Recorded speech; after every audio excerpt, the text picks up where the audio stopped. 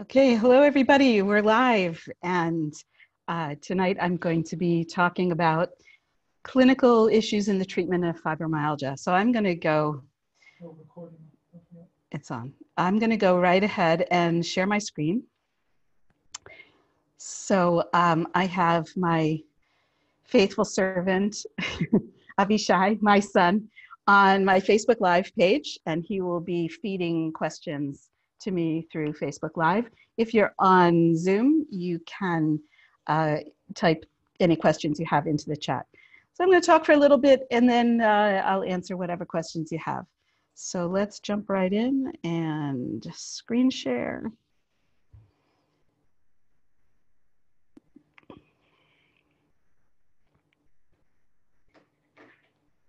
Share so much technology. It's just so much, you know? and play the slideshow.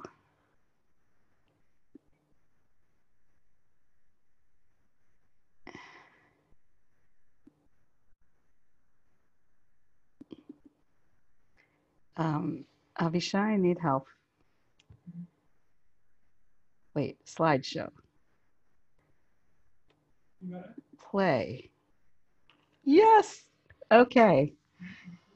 So um, I'm going to be talking about clinical issues. I'm going to be going quickly through the introduction because I'm assuming that people who are listening know something about fibromyalgia. Um, now, this webinar is geared towards uh, therapists and other medical or mental health professionals. So I'm not going to go too deeply into the broader concepts because my assumption is that you have some kind of a basis, but I'm going to go anyway quickly through the beginning parts just for uh, just review sake. So uh, what is fibromyalgia? Fibromyalgia is a collection of symptoms, the predominant symptom being pain that is unexplained. But there are a lot of other symptoms that are both uh, symptoms of fibromyalgia specifically and comorbid conditions. I'll get into that a little bit later. Um, but this is just a, a, collection of words that are associated with fibromyalgia. It's a nice graphic, but um, we're going to focus on pain uh, being the presenting symptom. So this is a chart that has been used since fibromyalgia was first diagnosed in the late 80s, early 90s. And technically, medically, it's diagnosed uh, by the presence of pain in these 18 points. And if you have 11 positive pain points of in these specific places, then that's the basis for the diagnosis. That's sort of a soft diagnosis. So the other aspect of diagnosis is um, it, the process of elimination. Also, kind of a soft diagnosis, but what uh, what the doctors do, and mostly rheumatologists now are in charge of this part of the process, is rule out. It's not rheumatoid arthritis. It's not Lyme disease. It's not lupus. Things that have markers. If there are no markers identifiable, then they say, well, we don't know. And so fibromyalgia is what we're going to call it. So it turns out, though, that there are common uh, symptoms that are identified with it. And uh, just um, so you know, I do a lot of my research on Facebook groups. Um, I belong to about 10 different Facebook groups for people with fibromyalgia, and that totals about uh, 200,000 people. So I read these groups every day and I see that people ask about the same symptoms over and over and over again. So the most common of these symptoms are headaches, a lot of headaches, uh, a lot of sore throats, a lot of skin uh, rashes, unidentifiable rashes, yeah, skin irritations, the skin feels hot to the touch. Um, tremendous amount of sleep disorder. I'll get back to sleep disorder. Um, fatigue, obviously, goes a- along with pain. Uh, IBS, tons of IBS, also we'll get back to that. Um, a hypersensitivity to light and sound, TMJ, and fibrofog, which I'm also going to talk about. Uh, a couple more things I want to mention costochondritis, which is uh, a soreness, spasm of the muscles around the rib cage. It's a very strange symptom, but I have been hearing a lot of people discussing it on the Facebook groups. Um, uh, it, it can be very painful, this spasm that sort of goes around the rib cage, and people think that they ha- are having heart attacks. It, it, it's extremely painful. So, um, this is the sort of most common symptoms. So, in addition to the pain points, I would say that uh, that the doctors would go through not just the process of identifying pain points, but also the overall picture of how does this patient feel and do they have any of these other sort of uh, complaints, common complaints? Now, I want to, before I get into the next topic about doctors, I just want to say I have been very lucky to not only be treated by some extraordinary doctors, but also to work with as uh, colleagues some exceptional doctors. So I don't want you to think that I'm down on doctors. I really have had excellent doctors. But I do see as an observer in as I see people coming to my practice for treatment that there is a lot of less than ideal care. And part of what I'm trying to do here is build a treatment model that takes some of the responsibility off doctors, really, for that reason. And we'll get to that in a second. So, um, because uh, clinical issue number one is that there is a lot of mistrust.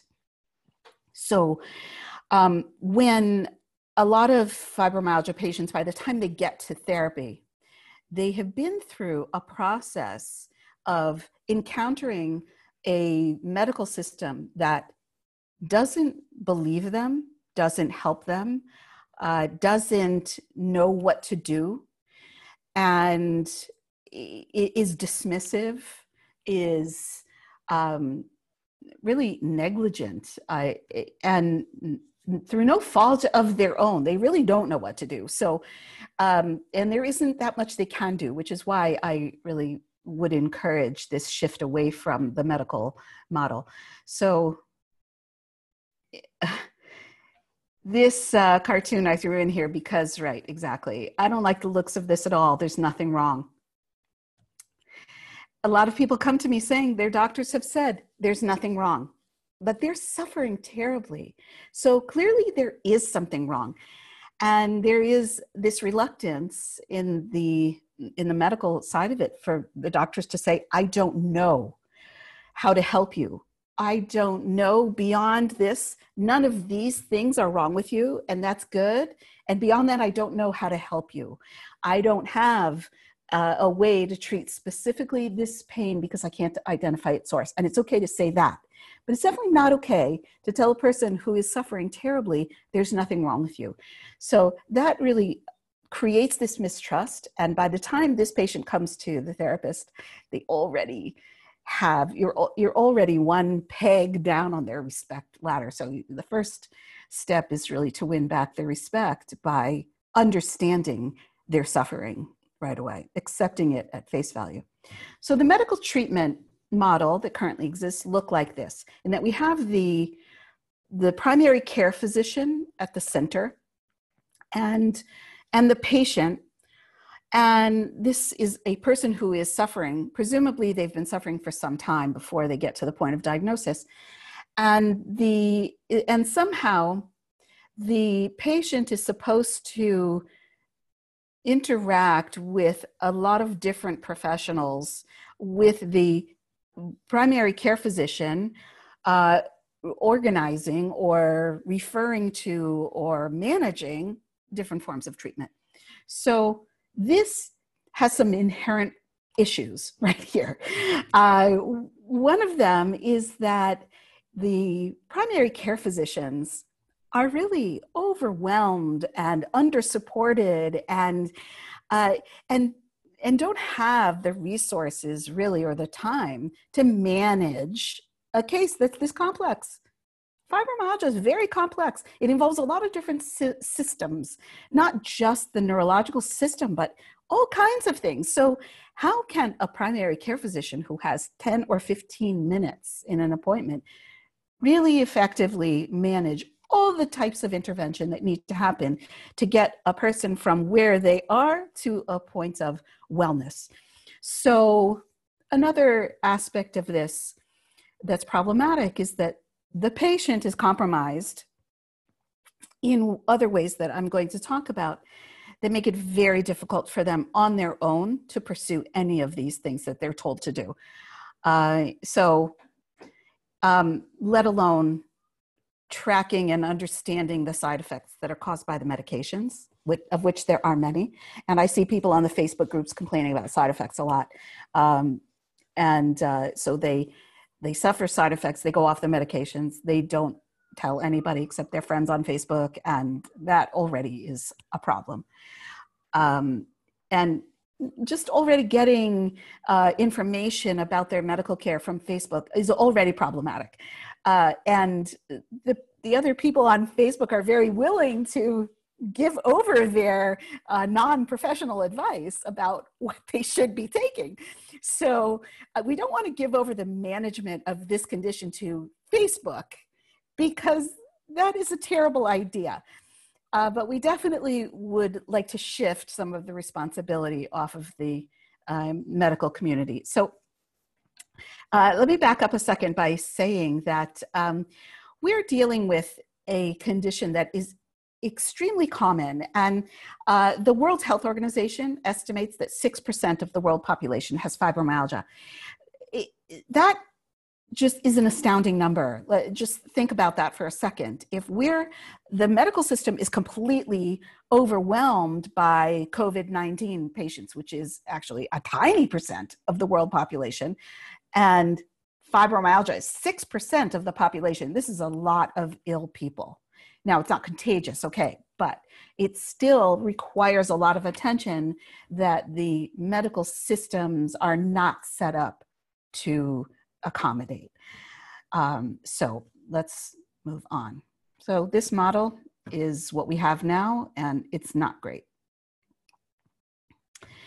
So that brings me to clinical issue number two, which is there's a lot of mismanagement. The average fibromyalgia patient is taking multiple medications psychiatric medications, antidepressants, uh, all kinds of pain medications, things that they are taking without anyone else knowing herbs, cannabis, over the counter anti inflammatories, um, vitamins, supplements. There are all kinds of things you can go and, and on the internet and find vitamins and supplement products that say this is for fibromyalgia. Um, and uh, do their doctors know they're taking this? Probably not. But the point is that the the issue that there isn't one central person who knows everything that's going on uh, is a clinical issue that I believe can be addressed in therapy and should be addressed in therapy, uh, where there is a, a, greater likelihood that these um, that all of the different avenues of care can be centralized and managed. Which brings us to the next uh, issue, clinical issue number three, which is addiction. Now, we know that there is a problem with opioid, narcotic abuse, misuse, and addiction. And yet, I still see people being prescribed opioid narcotics for fibromyalgia pain. Uh, with extreme cases of pain, it seems that doctors run out of ideas uh, and prescribe uh, opioids. And because of this lack of management, there are issues of addiction. Um, I just saw a message posted in one of the groups by a woman who said she carries oxycodone around in her purse because she can't ever remember if she took it or not. So we'll talk more about that when we get uh, further down the list. But this is a very dangerous situation. Um, I have a colleague who has a child, an adult child with fibromyalgia, whose doctor prescribed uh, opioids, and he just never followed up on managing the prescription and then said, oh no, he's addicted. Nearly a year later. it, it is a, a terrible situation. So we want to, uh, if this is something that may need to be addressed when a person already comes to in therapy, um, if it's not, it can be avoided one of the ways that we can address both the mismanagement and uh, the addiction issue is with a team approach. I'm a big advocate of this. The primary care physician, the therapist, and the psychiatrist all talking to each other because they share uh, treatment uh, paradigms and treatment issues. There's crossover. So all of these things can be treated together in a team. Um, and uh, so I have had a lot of success with this, working closely with other team members. And it really benefits the patient because also it allows me not to feel so alone in, um, in trying to organize the treatment, but it also helps the primary care physician and the psychiatrist to feel supported, knowing that someone else is looking and that then we can share information. Um, it's also a way of kind of uh, of, of tightening the hold on the patient. So they can't bounce from one to the other, uh, saying, well, this isn't working, and so you try this, and no, I tried this, and not really being clear about what the path to treatment is. So uh, another issue is that uh, the that fibromyalgia patients um, often will have a very low level of executive functioning. They have trouble making decisions like uh, getting up out of bed and taking a shower. Um, they have a hard time gauging how they feel. And so they don't know how much activity to pursue or how um, different activities affect their pain or other symptoms. Um, and this is really troublesome, but is an excellent therapeutic issue to address. Uh, that if you can focus on going through, taking the person through a series of choices, of decisions that they need to make for their self care, um, then you have a much greater uh, likelihood of a positive outcome. So, the first thing that I do is really address do you set an alarm? What time do you get out of bed? How much time is there between the time you wake up and the time you get out of bed? Uh, where are your medications? Do you have a system for knowing what time you take your medications or what uh, activities are associated with the taking of the medication? Is there food? Um, you know, uh, organizing a schedule to just increase the level of uh, uh, on that level executive functioning so that once they then have a healthier overall outlook that there is something that is containing and driving their um, their overall health. Uh, issue number five is anxiety. There's a lot of anxiety in uh, in fibromyalgia. Um, so I want to just say that you can distinguish between what is a fibromyalgia symptom and what is a comorbid condition. Anxiety is something that kind of straddles both of those things. It's, if it's severe anxiety, then it needs its own plan and maybe psychiatric intervention. Um, if it's mild anxiety that just goes with having a lot to manage in terms of pain, then I would say it's a fibromyalgia symptom. So, but Anxiety makes pain worse, as we know, triggering this fight or flight reflex.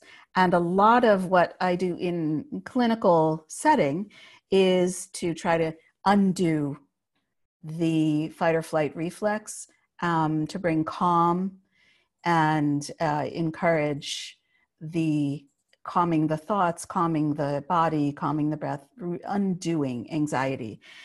um, this is where CBT can be really effective. So this is something that is uh, on the um, on the clinical schedule often. Depression is another aspect of uh, another feature that is sometimes just a little depression, a mild depression that is a symptom, and sometimes needs its own plan. Uh, there is a, a very high rate of depression among fibromyalgia patients, especially really any chronic illness. Chronic pain is depressing. And uh, so it needs to be treated. Now, there are some, there is some use of SNRIs that seem to, in some patients, help this nerve pain. Um, the on the Facebook groups, they talk a lot about Cymbalta, which is in that category. And if it treats uh, depression, that's good too. But it does seem to come with a lot of um, really difficult side effects for a lot of patients. And so there's a lot of talk about um, my doctor wants to put me on Cymbalta. How was it for you guys? And then here comes the, the crowd to say, well, um, you know, I have all of these side effects from Cymbalta, so I quit. Uh, so this needs a lot more management. Um, obviously, depression is just an obvious, an obvious outcome of chronic pain. So that will be something that you'll address clinically. Uh, and um, it does get better.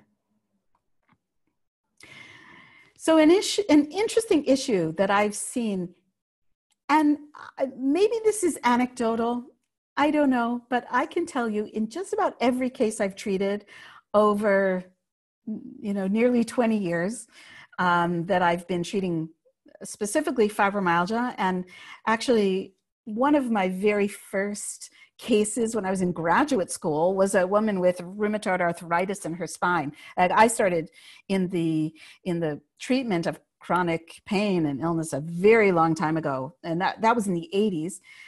Uh, I have seen this clinical picture emerge over and over and over, and it's so interesting to me.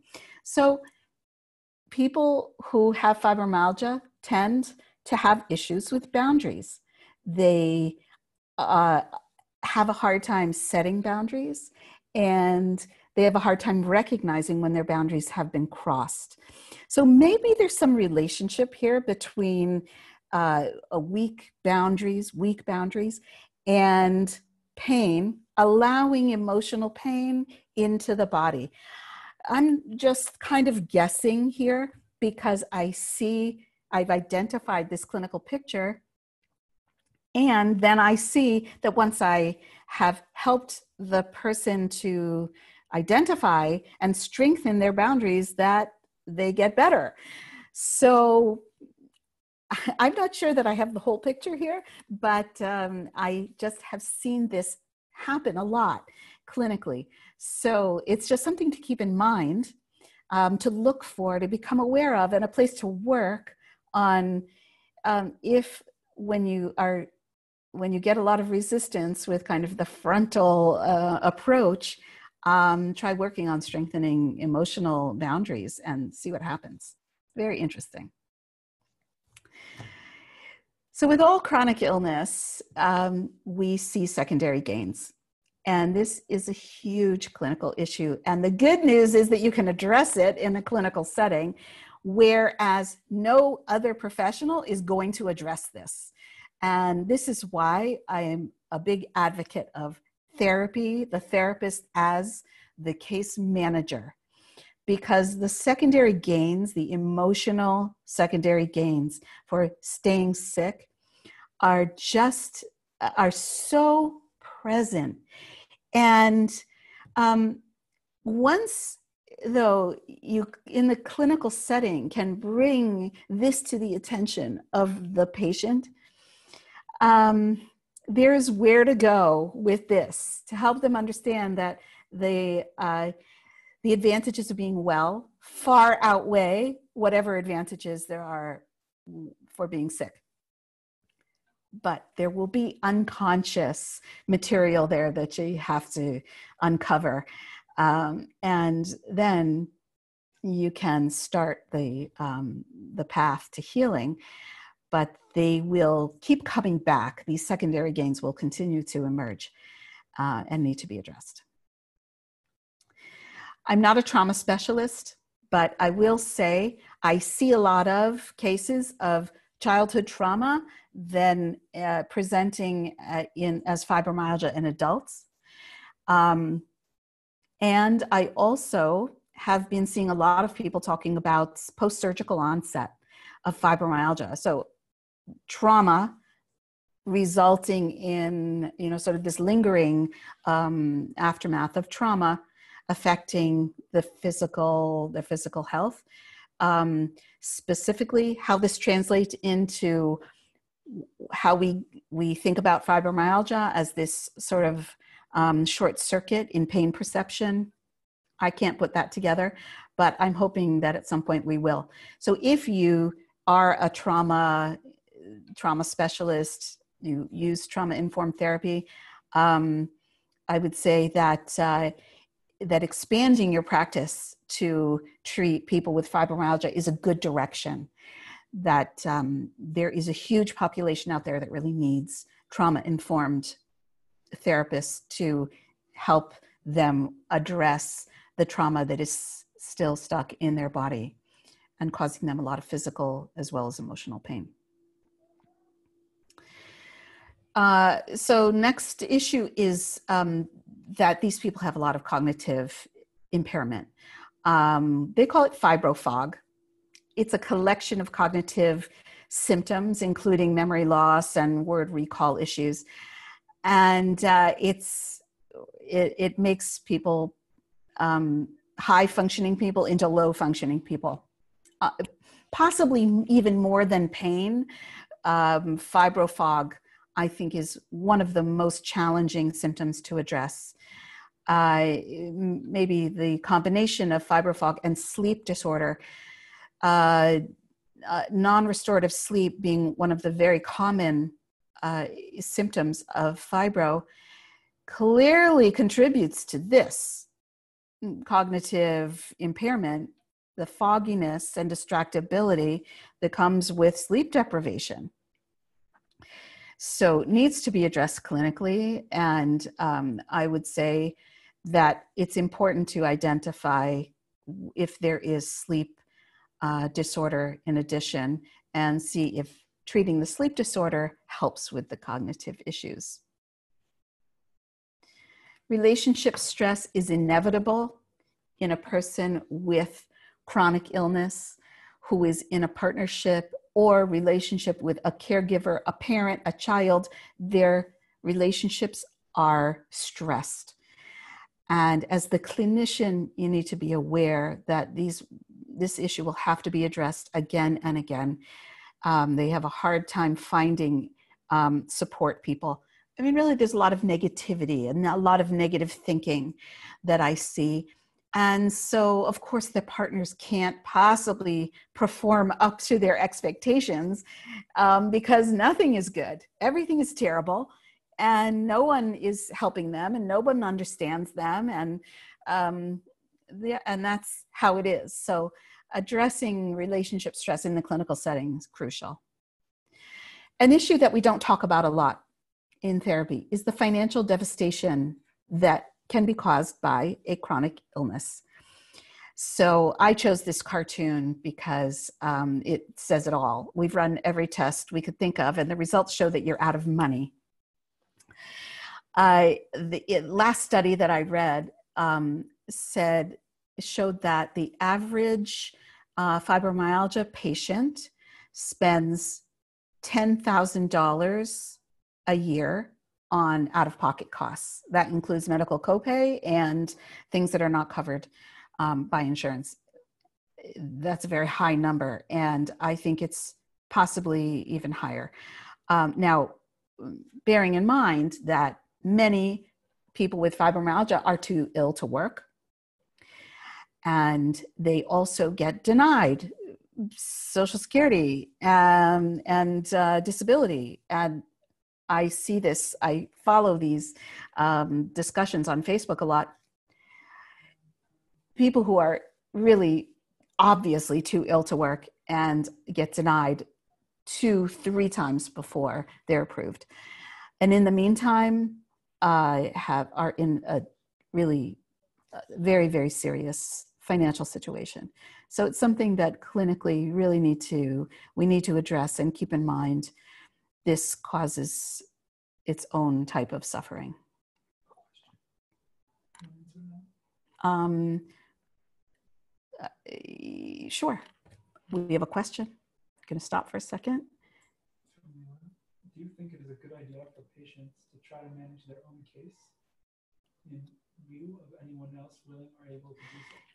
What tools should they have if that is the case? Okay. Um, so the question is Do I think it's a good idea for the patient themselves to manage their own case? Um, so ideally, I think it is not a good idea. Um, but if someone wants to take charge of their own care uh, and can do that, then why not?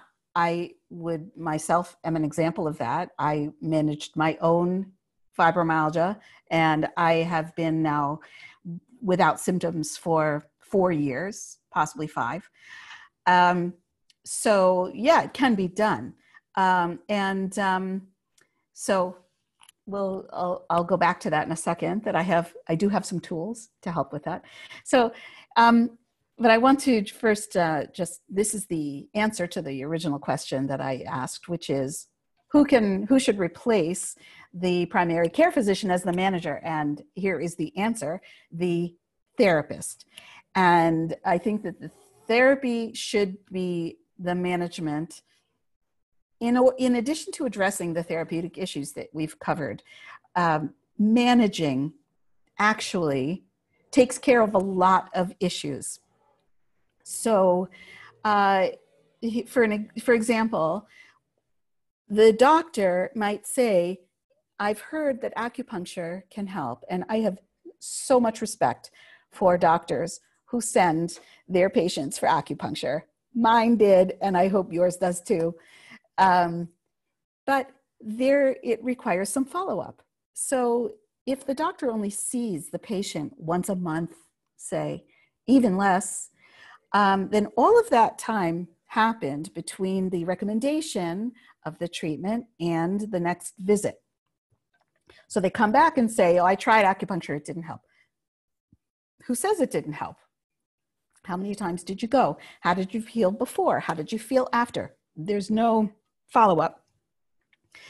Uh, it, and uh, also, in addition to that, that just getting the patient out of bed um, to try any kind of treatment, never mind make changes in their diet, exercise, um, meditation, managing stress, managing their medications, uh, just taking them, remembering to take the medication. All of these things require a great deal of management. But the therapist can be in charge of management and get it done.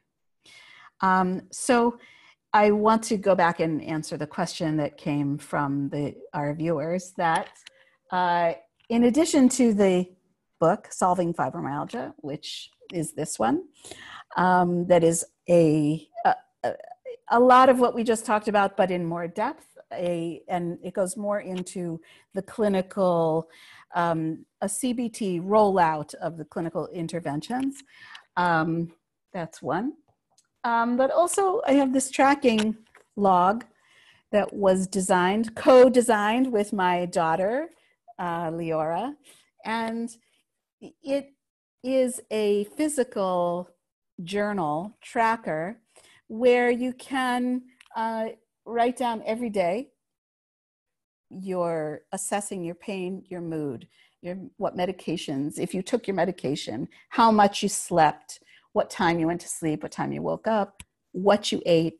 Um, and, and in addition, it has these on every page, it has a little uh, flow chart, which where you can track um, if you were able to take a negative thought and reframe it into a more positive thought. And then at the end of every week and every month, it has a place for notes where you can go to your practitioner visits and take notes so that you, when you go to your primary care physician, uh, you have information about what the acupuncturist said, or you have, you go to the therapist and you have information about what the primary care physician said, and, uh, and then everybody knows what everybody else is doing. So this, uh, the tracker, I think can really, I recommend it for anybody who has chronic illness. I think it's an incredible tool. Um, I also have um, a user's guide. I have a, one guide for practitioners, um, which is here, a guide to tracking for practitioners. And there is an ebook that you get when you buy the tracker that's a user's guide for anybody to use the tracker. And um, so now I will uh, plug my course.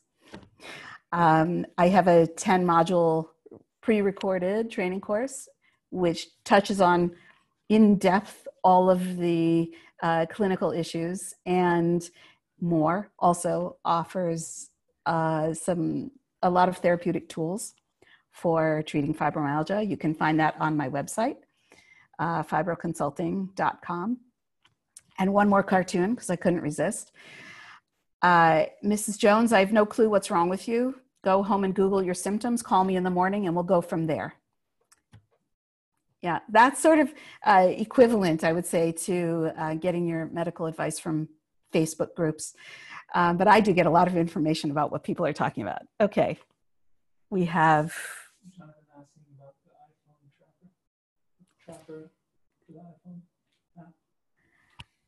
Um, so the app the tracking app, yes, there will be an app. It's in development right now, and it will be a cross-platform uh, tracking app that will have the same features as the tracker, the Everything Tracker, that you can do online, and also will have an interactive feature so that uh, the practitioners can directly communicate with the app.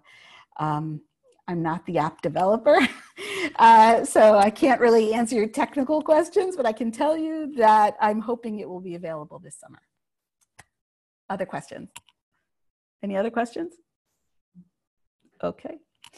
Uh, this webinar has been recorded, and so if you missed some, I'm going to make it available. And uh, so just send me your email address and I will send you the link and uh, thank you so much for joining me. Um, and I look forward to seeing you again. And so that's all. Thank you. Thank you so much. No, thank you.